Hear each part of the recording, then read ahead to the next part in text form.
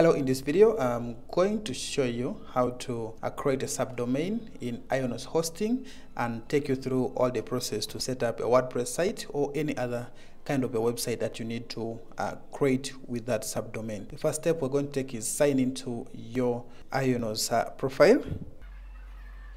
After sign up, there are two things that you need to do. The first thing we need to create a subdomain. Then step two, we shall also set up the website. To create a domain, just go to menu and uh, you come to domain and SSL. Then uh, you need to come down to look for quick links and uh, go to create subdomain. In this area, it gives you opportunity to create your subdomain. So going to give a name of your domain. For this case, let me call this uh, let me call this the videos. So this is going to be a combination of this. So if you want to create more than one subdomain you can actually check this other than you going back to the other side. But if in case you want just one subdomain you just uncheck this then you create. So this may take a few minutes so you just have to, to wait a little bit. And once you finish that you can go ahead to make sure that the domain you've created has come in. So you go and go back to domain and ssl then you come to subdomains so in this case, I created a domain called videos. As if you look at this, it's blog, jobs, trial. So I need to wait a little bit for some time. So uh, once uh, you've waited after creating the subdomain, you can still go back and go to domain and SSL uh, to check if your domain has already been, your subdomain has been created. You can also come to this area and you'll be able to see the subdomains you created. Once you select that, you see here uh, these are all the subdomains I have. Remember, I created uh, videos, but that subdomain is not yet ready. So for the purpose of this video, I can't wait much longer. Let me just use any subdomain I already have here. One good thing you've known how to create it. So you just have to wait for some time. So now for you to set up the, the website, what you're gonna do is go back to menu and you come to website and stores. In this area, come to create new website or store. So when you reach this area, you have freedom. If you want specifically a WordPress site, you can actually click on this area.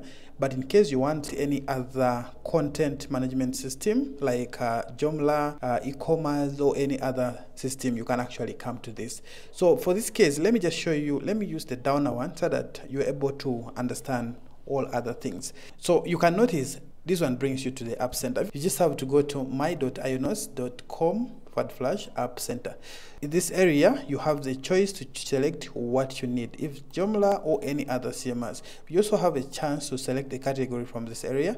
If you want the chat, collaborative, or e-commerce, let me give an example of e-commerce. You see, these are the e-commerce that are available here.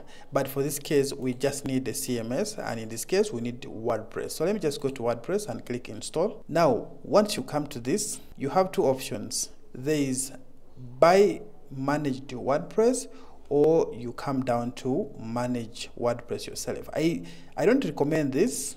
If you have enough money to use, you can actually do this, or you don't have any skill, you can actually select this. But if you have some skill on WordPress, even if you don't have a skill, I encourage you to come to this because on this website, I upload videos about WordPress that will actually guide you to do whatever you need. So come down to manage WordPress yourself. So you're going to give the project the name. So this is blog. So we're just going to say blog. I don't need to write much. You give your website a title, your project title. So this is step one of three. So you're going to click on that. Then in this in this case, you're going to put in the username. So I can leave this blog that's admin. Then I'm going to put in my password yep this is weak but can work. So I can go ahead. And at this point we have a chance to connect a domain. Remember we had we created sub subdomains and in this area it only shows you a free domain. I remember i had three subdomains but two are free. So i'm going to select blog.ugjobs.com then you go ahead to next. So domain is already connected. So what we're going to do now is just install wordpress so this could take a few minutes, depends on your internet speed. Well, the installation is already done. But in case it took long, if it takes very much longer, what you just do is go to blog.yourdomain.com and you should be able to come to this. But also you can just, then you go ahead and say wp-admin. This is also very quick, but since it has already completed successfully, I just want to take you through all the steps that we follow. So you go ahead and click edit website. Now when you reach this part it just gives you to put in your user details remember i selected blog dash admin and the password so i'm going ahead and log in as you can notice this is the dashboard of wordpress once you've installed it so i for me what i usually do once i've logged into this I first have to make sure it's not crowded. I make sure all this welcome page, quick things and everything is not on my page. Close that. So as you can see, this is what I have. I make sure I clean everything. Any plugin available here, I make sure it's removed. Deactivate this, disable, and I make sure I delete it. Also any uh, post that could be there, I make sure it's deleted. It's the trash, and empty it. If there are categories, it's only one which you can delete because it's set as a default category for blog posts. So any pages available, I make sure I clear them all. Then go to trash and also empty trash.